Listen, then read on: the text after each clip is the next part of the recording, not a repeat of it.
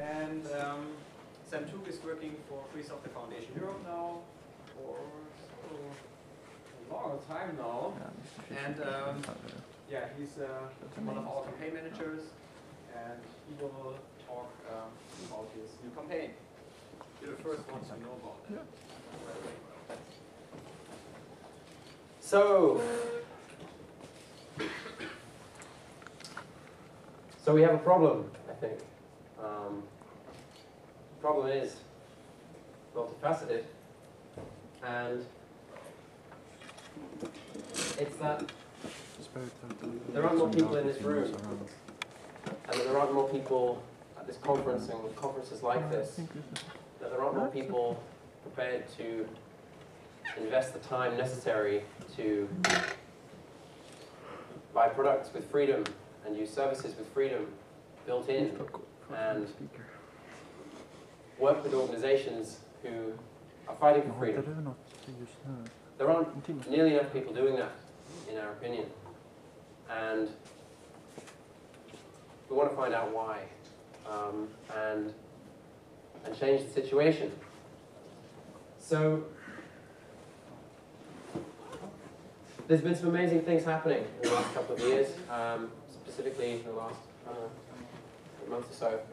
With the Occupy movement, I think it shows that uh, young people can get interested in things that, are, that have a big impact on their future lives. It shows that they can think into the future, they can think beyond brands and products, and, and they can think outside the boxes which are made for us um, and presented to us. And, and we in the free software community, the culture community, people who care about freedom in digital ways, digital realms, I think we need to try and engage with those crowds, engage with these young people in a way that we haven't before, because still most of them aren't paying attention to what we do. Um, about three months ago at FSFE, we were talking about a new campaign, an idea that would appeal to a new audience in a different way to how we have before. We've got tons of information, both at FSFE and other charities, NGOs. Lots of organizations have got great quality information out there about why it's important to stand up for your rights, what those rights are, how they've been taken away from us in some cases, how we can get them back. There's tons of organizations out there which can tell you, can tell us, can tell young people what we think they need to do, what they should do. Um, vote for this, sign this petition, pay for this, donate to that, turn up to this, hack on this, buy this, don't buy that. Um, sometimes that works, but it's not working a lot of the time, and we wanted to try something new.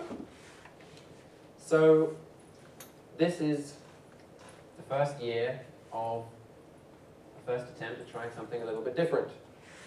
And I'm interested to see what you guys think about it. So, um, yeah, I work for FSFE. I'm also a part-time hacker uh, on uh, free software services. I tend to talk quite fast. It's not today because I've had a cold the last two days. So if I do speed up, caffeine kicks in. Somebody just do that, and I'll try and slow down. I'm a native English speaker and I tend to get faster the more I talk without being interrupted. So, yeah. A couple more inches. This is a uh, map showing all the different Occupy camps that were recorded in the United States. There's quite a lot of them there. We have a similar map for our Document Freedom Day campaign. Not quite as many points, but we're not too far off. We can beat that. 2013, yeah. This is the same statistics for Europe. It's pretty broad. It shows people in really far-flung places, not just signing a petition online or clicking like, having that like tracked and sold to the government, but it shows people, I mean, Occupy is generally involving people actually physically going somewhere and staying there. I mean, that's a hell of a commitment and a conviction. I want to tap into that conviction. I know plenty of convicted people, but I want to know more who are young, more who are having their careers staring them in the face, um, and and not spending more time feeding energy into the process which is going to restrict their future than they are in feeding into the processes which is going to free their future. Um, yeah. And um, this is still an attitude which I come up against even after I've explained restrictions to people. Manchester, Apple's a really easy target, but obviously they're one of many and they're just part of a trend. Um, but yeah, um, how to connect to people who have had some exposure to the restrictions that I'm going to be talking about the rest of this talk, um, who know about some of that stuff and still identify so strongly with these oppressors as I see them. How to kind of interrupt this, uh, this dialogue a little bit, this, this culture which allows these, to me, crazy things to happen, you know. The jail is your best friend. Pay a thousand dollars to have the cuff slapped on me. so, um, so the campaign is called uh, "They Don't Want You to." "They Don't Want You." Dot to. It's a URL, um, and um, it's about. Uh, it's not about the NGO doing the work, really. It's about people doing the work and seeing where they want to take it, um, seeing what's important to them, what direction they want to go in. Um, and what we hope to achieve, um, at least on a small scale, is ending the tolerance um, of digital restrictions, which are absolutely ubiquitous. No, ubiquitous is any category of project or product even. Um, we want to uh, really challenge that tolerance. Want to rub it in people's faces a bit. You know, this is, you know, this is what you're prepared to do. What do you think about that? Give me a reaction.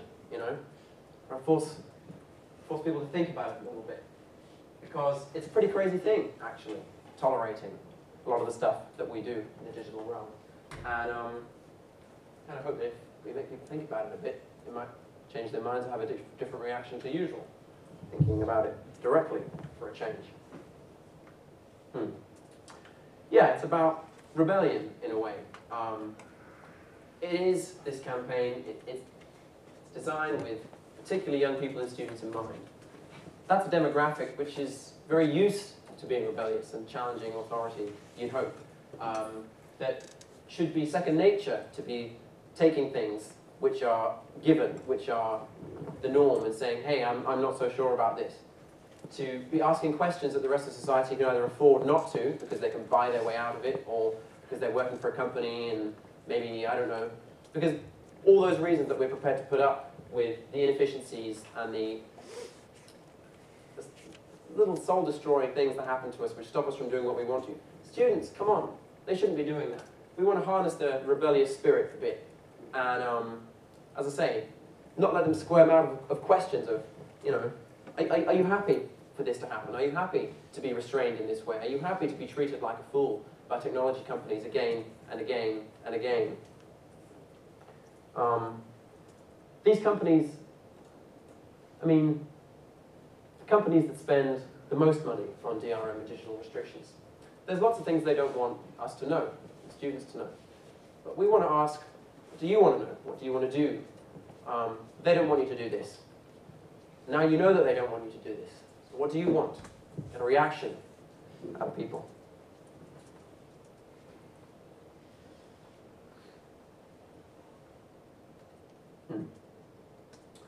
So, as some of you may have already uh, been asking yourselves, how does negative campaigning fit into this? Because I've been talking about bad stuff so far. I'm not pitching a grand new solution yet. Um, and for very good reasons, people are very tense about negative campaigning. It's got a you know, problematic history. Um, this isn't about negative campaigning from our perspective. This isn't about us saying, you know, there's this horrible company with this particular brand and we need to focus on their particular efforts and stop what they're doing and no, no, no. It's not about that really. But it's about other people um, thinking about the negative things which they're experiencing. So it's, in a way, it's negative campaigning by proxy to an extent. You could think of it that way. Or you could think of it about creating the space for positive campaigning to arise. Because we ultimately need demand from markets. We need demands from students. We need students to um, think before they invest three years, uh, okay, in Britain, it's a lot of money, in Sweden, maybe not, but invest um, three years worth of tuition fees in a course which will spend some of that on an iPad or a device which is really locked down. I mean, we need people to be thinking about these things. So there is, there is a definite need for people to realize the negative aspects of these restrictions. Um, and we're trying to stimulate people to talk about it themselves rather than push it down their throats, rather than say, this is one company that's bad, this is one product that's bad. It's more generic than that. It's about the, the broader restrictions that people face and getting them to talk about them themselves, getting them to think about them for themselves. Think, today, I had breakfast. How was I restricted before that? What niggled me today? What, what inhibited my productivity? What could I have done differently had I had complete digital freedom in my workday today? To really start asking themselves. Because ultimately, there, there aren't enough of us freedom fighters to go and challenge every person one by one. Um, it's important that they're asking these, these questions of themselves. So, everything's been a bit fuzzy up to this point. Um, I'm going to keep it fuzzy for a second. We have two soft aims here. Um, one of them is to increase discussion about restrictions, uh, specifically social networking, all those normal outlets, um, and get people to um, be sharing these experiences themselves, as I've just outlined. But secondly, we wanted to provide a different interface to ideas, philosophy, and information which is already out there. Because, yeah, we don't have enough hits uh, on our pages. I mean, there's people from lots of different organizations here. You probably all agree with me. We don't get enough hits for the information that we already have available. All those nice explanations of, um, in the case of FSFE, why free software is important, why open standards are critical for digital participation, all that kind of thing. All this stuff about rights of consumer, uh, pro, pro consumer policies. We need a new interface to that, I think. And that's part of what we're trying to do here. Provide a new, slick, thin interface to content which already exists. And that interface is very targeted in that it doesn't say the same things that all the other stuff that we have does. Um, it presents it slightly differently, and by doing so, we hope to reach this alternative audience. So those are the soft aims. The hard aims, um, how we're going to measure the campaign success, will be, um, yeah, uh, how many um, how many participants end up in this in this conversation that we're uh, we're going to be creating. We'll be talking about that in the microblog campaign in a second, um, and also we're going to be carefully measuring how many people um, start at one end and end at the other. So how many people will start a social media channel, maybe sharing a restriction, reading an article about something somebody else has posted, and how they link through what uh, don't want to the website and convert into somebody who's actually doing something concretely. How many activists we're generating? We, we want to manufacture activists, ideally. At the very least, we want to get people reading about information. We're, we're trying to manufacture activists. And we have partner organizations too who are going to be helping us with this. We're going to be measuring through all these different outlets how many people um, end up actually participating in a campaign. And that will probably be the most useful metric um, for measuring how successful we are through this. So um, the methodology of uh, how we and uh, hope to achieve these aims, we have campaign materials. We have a website. I will bring up now.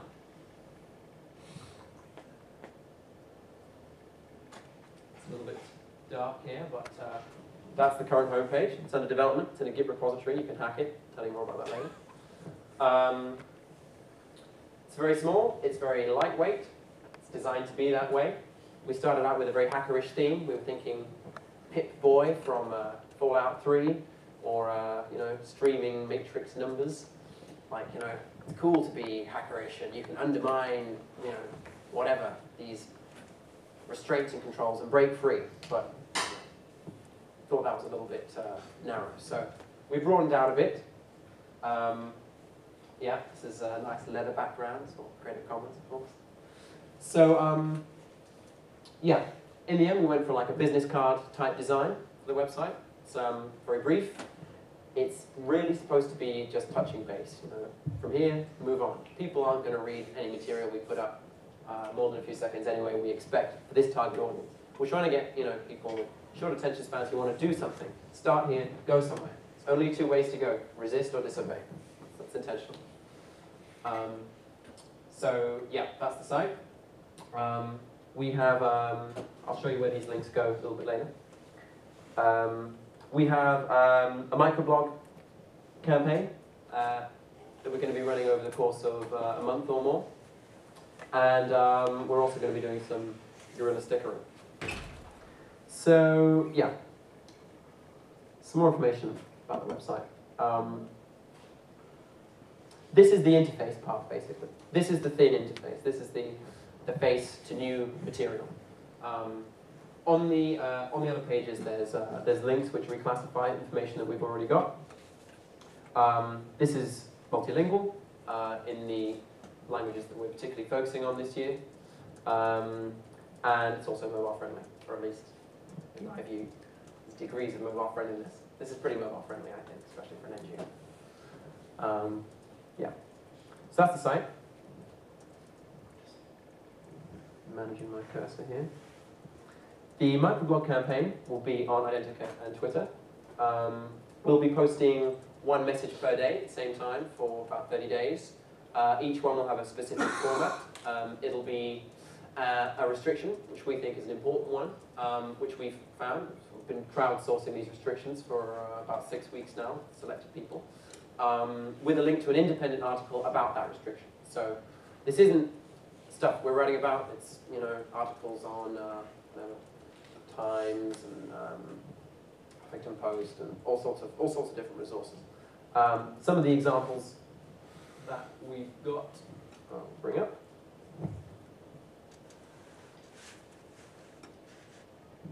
So yeah, using this format, the X's are just representing the short URLs.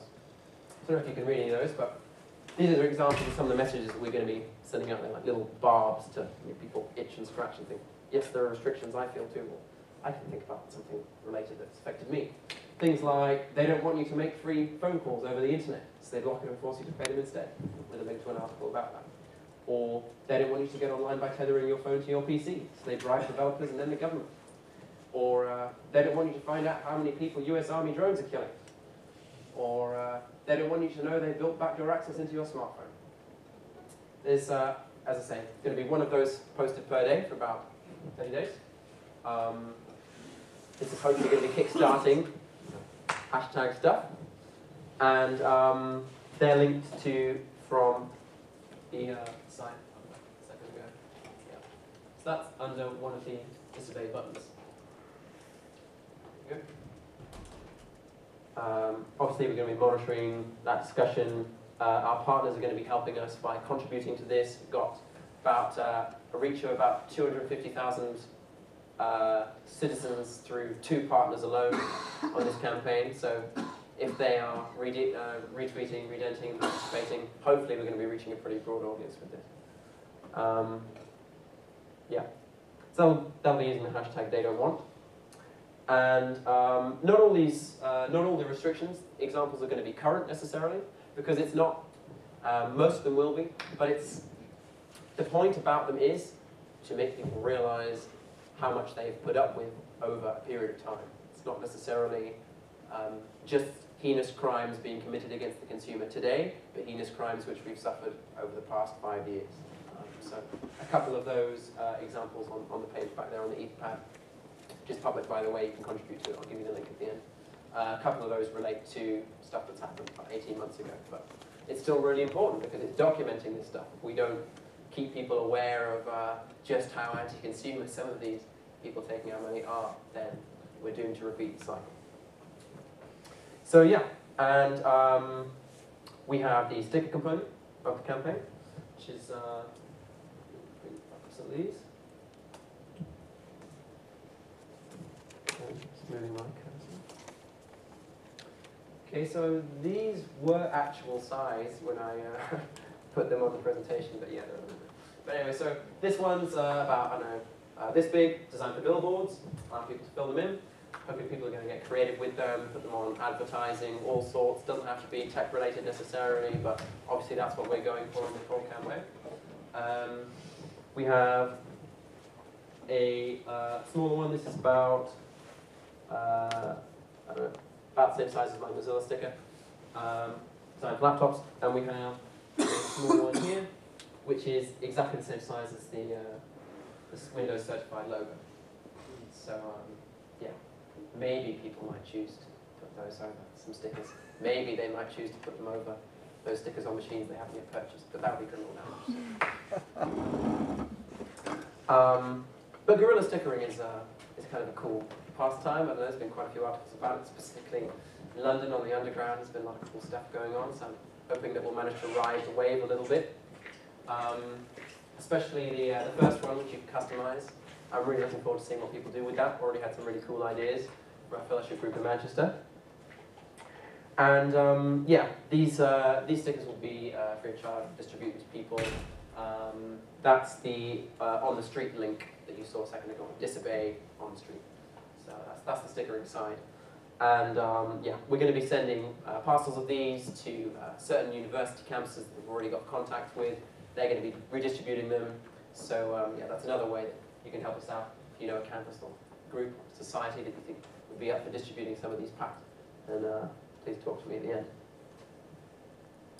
And uh, yeah, the final, uh, the fourth uh, component of the methodology are our partner organizations. Um, as I mentioned earlier, we've already got about 250,000 people um, represented by two of the partners that we've, um, we've, we've, agreed with. We've got the Electronic Frontier Foundation US and uh, Germany on board. US are really keen on it. Um, we've got the Open Rights Group um, from Britain, which is one of the largest uh, digital rights organizations. And um, in fact, I can show you the, the way the page currently look.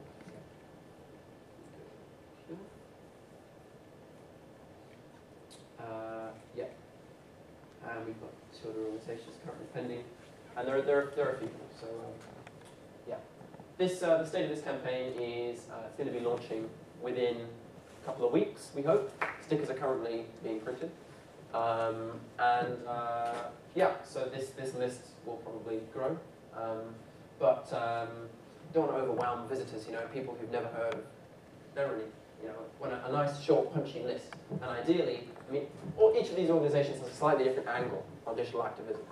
And that's, you know, I think that's important because we don't want to overwhelm people with information that's too similar.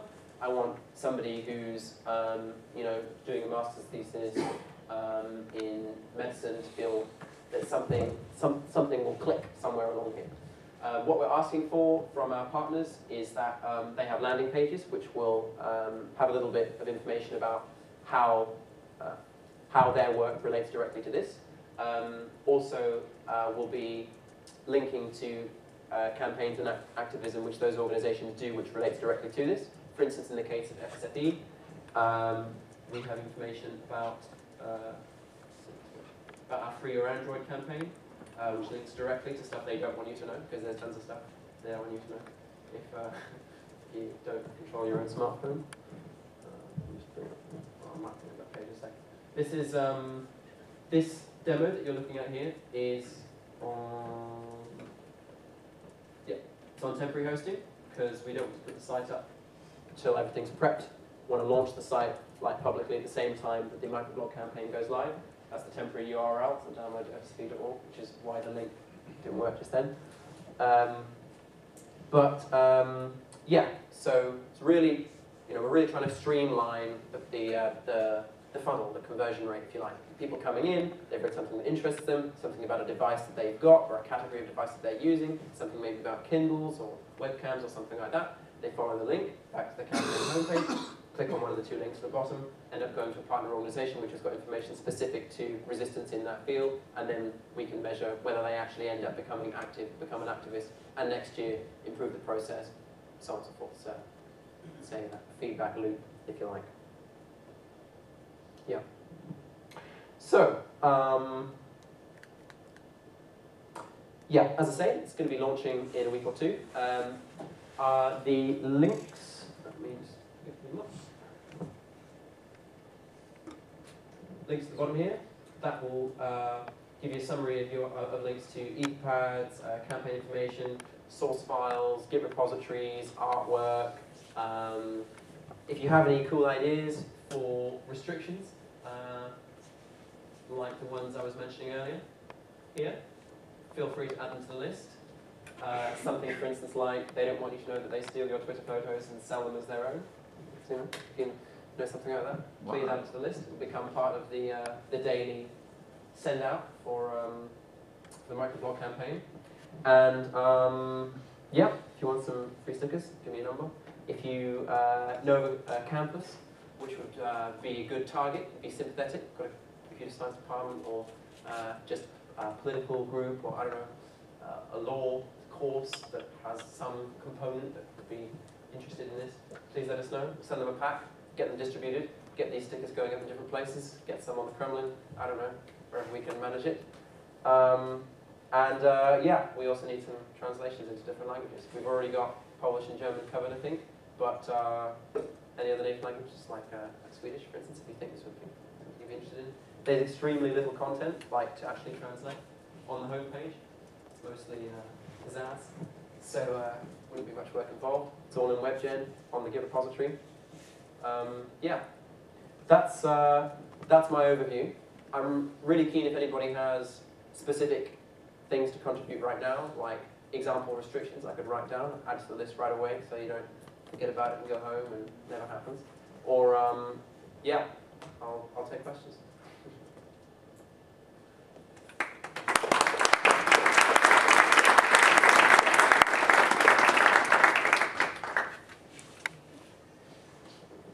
I had a quick question. Um, you think of ways to get to the youth. Mhm. Nowadays, they, they're fixed in the net now. They don't, it's hard for them to come out of it. Mhm. But they've got icons on the net that they look up to, like Athene and people who've got, uh, who've done well on the net and have made millions and You mean like entrepreneurs or No, but they're, they're like uh, YouTubers who, who've made it big. They use Mhm. them as icons. If you can uh, connect to one- of these icons, it might spread faster. c- connect how? You mean like uh, get them to endorse it or connect restrictions to them or? Oh, some of them know about some of the restrictions already. But, um, they don't actually endorse it like you're doing here. They, In, endorsed, sorry, what do you mean? Um, like you make it visible. hmm Most of them know about them, but they, they don't actually talk about it hmm as openly. So you think that maybe by harnessing uh, sort of a, a success icon um, for young people, uh, that'd be a way of capitalising the uh, conversation? Yeah, because they won't actually look at something grey and white, black and white. Mm-hmm. That's the, that's the problem. They only look at the wow factor. If it catches them, they Mhm. stay there. That's the problem. Well, you know, I can send an email to Google and say, hey, think YouTube wants to endorse our campaign? I mean, No, okay, individual YouTubers and Okay. people who have large audiences. I mean, kind of comes to mind. Exactly, right, okay. So yeah, this is something that we, we're actually already been discussing, getting um, some, uh, for instance, video and uh, uh, um, photo bloggers involved in this. particularly in photographing cool uses of the stickers in ways which may be borderline legal. Um, so um, yeah, I'm, I'm totally up for that. You suggested one name, sorry, there, Samari? Uh, uh, Neil Gaiman, the Right. author, uh, because he Wow. Yeah. comments a a good idea. lot on, you know, this kind of thing. Yeah, well, we got Stephen Fry to be the face of Dr. Freedom Day last year. Yeah. So Alex might be interested. Yeah, okay, cool. Uh, second. So, on game. Cory Doctorow uh, has also lately been talk, Mm. talking a lot about this. Indeed, and he's, um, he's actually, I think, on the, on the board of two of our partner organisations. So, um, we kind of natural for him to endorse it. Yeah.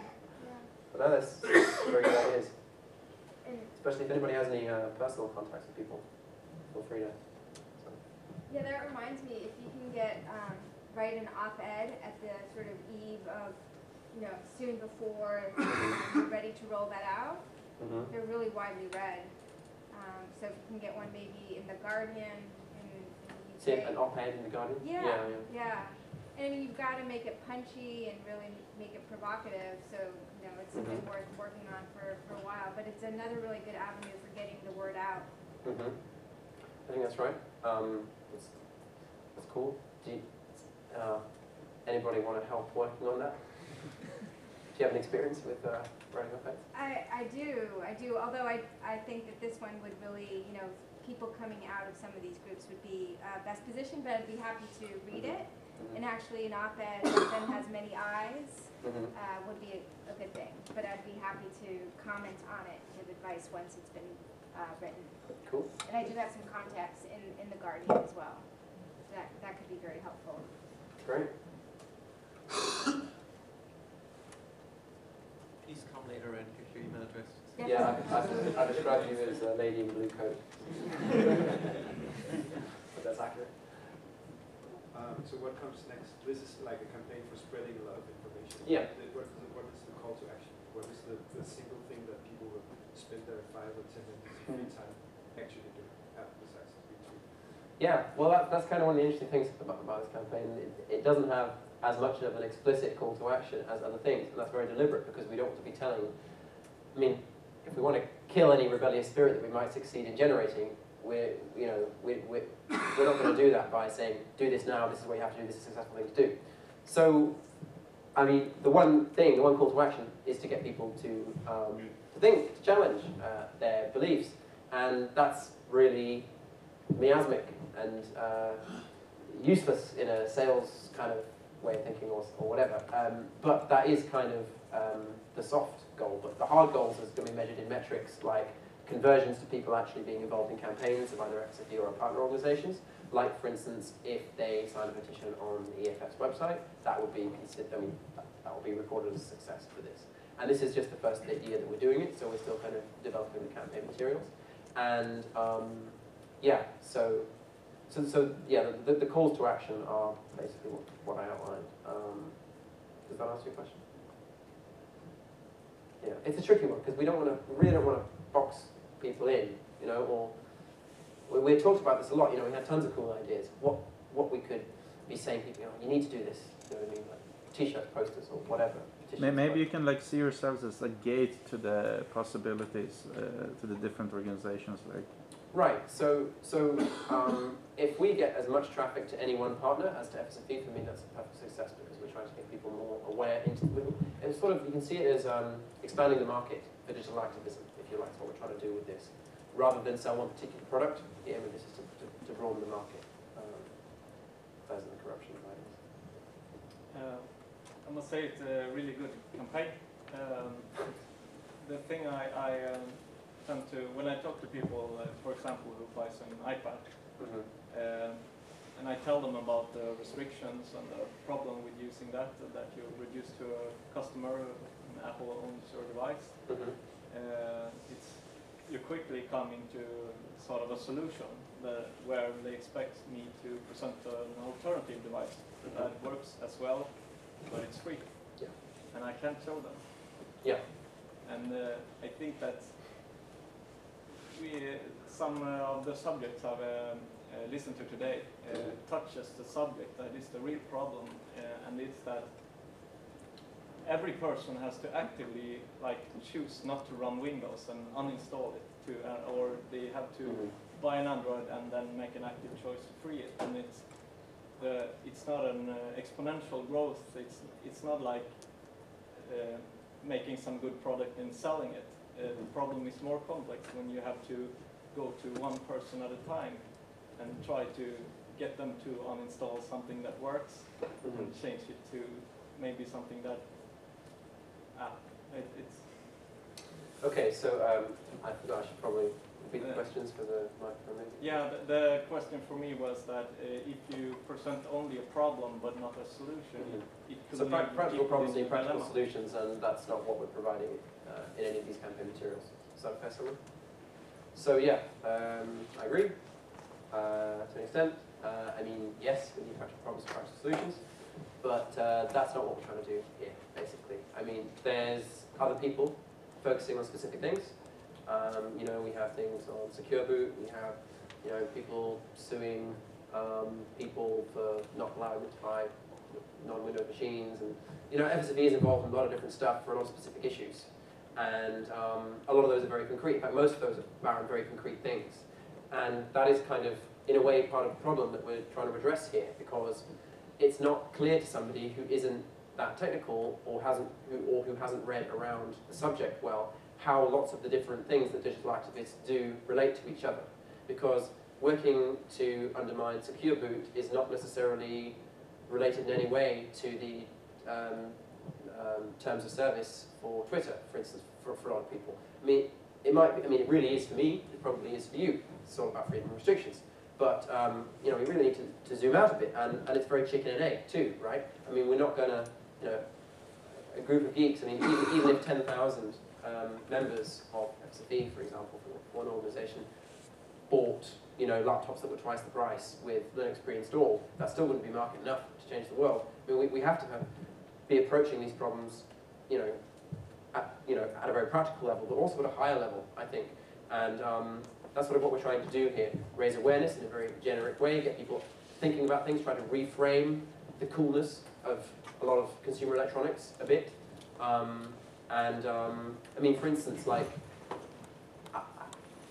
when I was a student, if somebody had told me that uh, there'd be $9 billion of uh, research and development money spent on um, DRM by the year 2012, I'd been a bit shocked because I would have realized that that's going to be my money and money of people, you know, that's all consumer money, right? I mean, that would have changed the way I thought a little bit.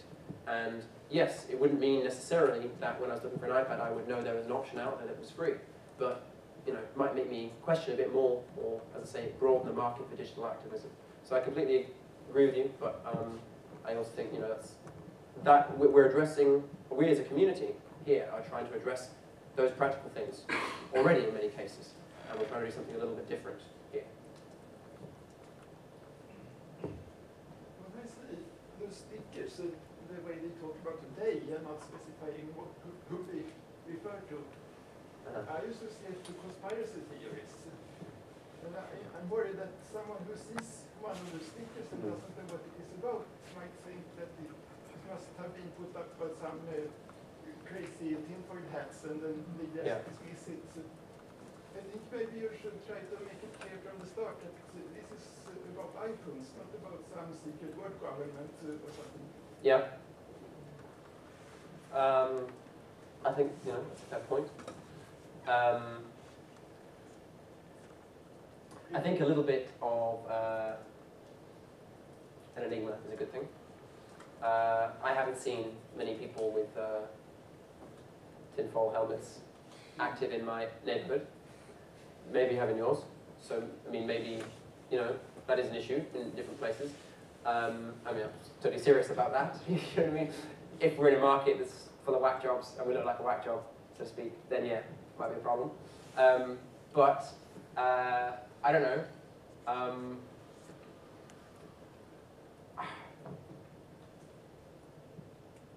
I think, this, I mean, the stickers are designed for specific uses, right? They're designed, I mean, the largest one, which would be the most public one, which would be you know, potentially used in public places, allows you to write in what you want. So if you want to write in, they don't want you to know I'm an alien, well, that's okay, I mean, you can do that. Um, but I imagine most people aren't going to do that. They're probably going to put something a bit more specific, maybe a bit more interesting. Well, they're a bit more interesting to us. Um, most of the other ones, they're very particular form factors. You know, if you find it, I don't know, exactly o- o- over a over a um, over a particular company's logo, then you might think, okay, well that's related to tech technology somehow, because why did they make it exactly the same size and shape, dimensions, you know, um, as that particular sticker? Uh, I don't know. We'll see. Maybe you're right. If you're right, we'll change it next year. So I have maybe something somewhat similar, so if you read this web page here, at least I would like to have that there were some links, for example, that they control the form. I if I Mhm. this to my work colleagues, they will say, oh, this is some conspiracy, not, but if you have some links that if you're interested, you can have some, like links to real articles and so on. Yeah, exactly. So. Um, Maybe you are, you are already planning. Yeah, well, exactly. That's that's that's part of the. Uh, hang on, let me go back a second. here. I lost my. Uh, the the homepage is very generic, right? These these are generic, and they don't have links anyway. But these these specific, and the uh, Twitter and Medica pages will be full of concrete examples with concrete independent articles associated with them. Um, I mean, we've got an article here by CNN, we've got Huffington Post, we've got uh, is Chicago Sun-Times at the bottom, uh, we've got The Guardian here. Uh, this is Glyn Moody, you know, keynote speaker here last year and the year. Um, another Guardian, well, I read The Guardian quite a lot, so there's a few Guardian ones. Um, there's one from The Telegraph, we get even one from the Daily Mail somewhere, that's from computerworld.com. So, you know, it's that, that's our effort to, to ground it. The reason why there's not more specific information on the homepage is because we want to draw people in. And um, yeah, it's, as I say, this was designed with young people in mind, and my understanding of, of how a young, people, a young person will behave would be more inquisitive than to reject it, but that's ridiculous generalizations, so we just have to see what happens, I guess. And, you know, they're going to be monthly metrics. Another quick point, maybe some, as was already mentioned, some Mhm. kind of alternatives. I mean, many of them are not as good in some sense, but just to show that there are some alternatives, and maybe someone will be inspired to make better alternatives. Because uh, many people think that Yeah, there is exactly zero Yeah. alternative to Facebook. Yeah. And many people believe that, just showing that there are some, some other. Yeah, um, I think that can be done in the, in the work of the, the partner pages. Like, um, for instance, there's some stuff about Android, there's stuff about, the, for instance, one of the stories is about the, uh, these images, you know, if you happen to, by mistake, have this image around your Samsung phone, it'll just, just wipe it, you know, it's like a backdoor type thing.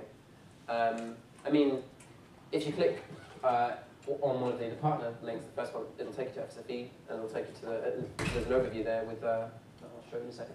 There's an overview there with, with links to rel related campaigns, one of which is Free Your Android. That's, that's the top one. Um, yeah. Again, I'm careful. I, um, you know, I'm, I'm, I'm concerned not to funnel people a bit too much into one way or, or, or another. But um, hopefully we've got that covered. Hopefully we'll, we'll see. Just one, uh, I mean, we, we start this campaign, we don't own it. So everybody who writes with, uh, with this hashtag and propose a solution, I mean, that's, that's the thing. I mean, one thing is that there are partner organizations and they also use that, but actually when you see, okay, that's happening, and you see other examples, I mean, everybody's allowed to participate. So if, uh, I mean, that, that's what we actually, we want, that some, uh, some students, pupils also see something where, where it's restricted and also post something with this hashtag and also share it in other networks in their, like, on Facebook, uh, perhaps make a video on YouTube or whatever. I mean, everything they, they do, that's fine. Uh-huh. There is. Thank you. Right, so that, that's our landing page currently. Um, but yeah, probably extend it. Okay, so next question. Yeah, I'm just gonna comment on this and what the guy just now said and the guy in the blue shirt.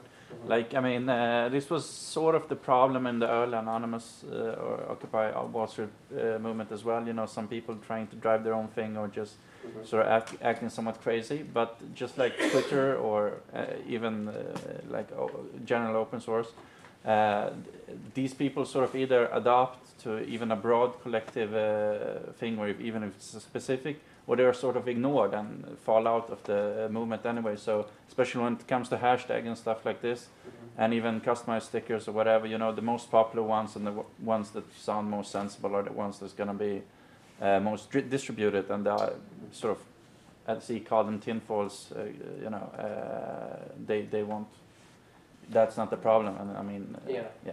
Oh, yeah, I agree. It reminds me a bit of, um, there's a huge amount of media coverage of uh, some riots that we had in, in England um, last year, and uh, how social, social media is really demonized by the national press, you know, have been used to spread violence, blah, blah, blah. But an actual analysis afterwards of, uh, of trends in, in this in social media coverage during these riots was that the, uh, the cleanup hashtag, which was all about people actually cleaning up after the riots, that completely eclipsed any of the other more negative terms associated with um, coverage on, on social media. And that was a point that was completely missed by, by the mainstream media. It was only like one independent researcher.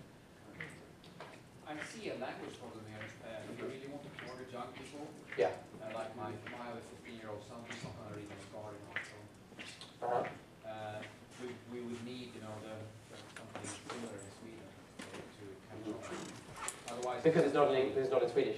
Yeah, Yeah. yeah. And I also think uh, if you if you want to translate these tweets to German, you need 500 characters.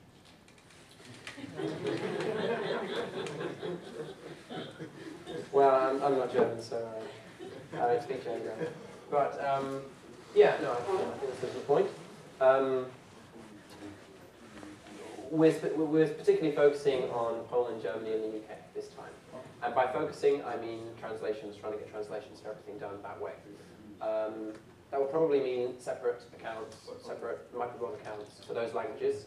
I, I'm relying on our translation team to solve the language length issue, but I really do agree with you. And um, I mean, if um, it would actually be my preference to have the stickers in mul- multi-languages, but just because is the first year we've done it, we print like you know 50,000 stickers whatever kind of couldn't shift.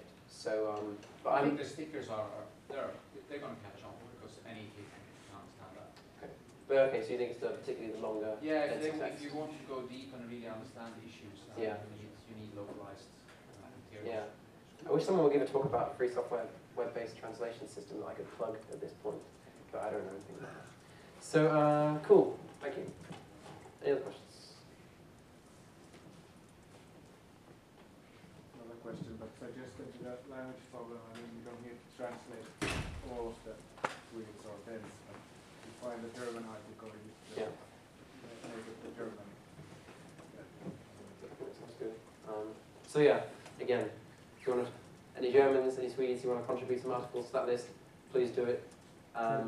Because uh, I've, I mean, mainly uh, the, the top contributors for the list we've got so far are um, uh, volunteers we've got in Manchester, which is where I'm from. Um, so they tend to be very English orientated, but really would welcome any multilingual tweets or um, uh, you know, links to articles in, other languages. We can definitely use them. So um, I'll just bring up that page once more with the with the links on it. Uh, yeah, so this is just a really quick collection to put together. The address is at the top. It's a, it is a little bit long. Um, public.pad.fsfe.org forward slash p forward slash data one using. I can, I'll be more than happy to write that down on a, on a business card or something if anyone, anybody wants. But that's just got links to all the different stuff, and as you can see, uh, there's compiled HTML and stuff if you, if you want to hack around with the code or you're better at mobile development than I am, um, feel free to show me up. Okay, so I think we're out of time. Uh, thank you for all your questions.